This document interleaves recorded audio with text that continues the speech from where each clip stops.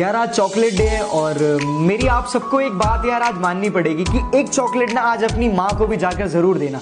और यार, मैं इस बात को दावे के साथ कह सकता हूँ कि उसमें से आधी चॉकलेट ना आपको ज़रूर वापस मिलेगी। हैप्पी चॉकलेट डे गाइस जन्म देती है जो माँ जिसे जग कहे।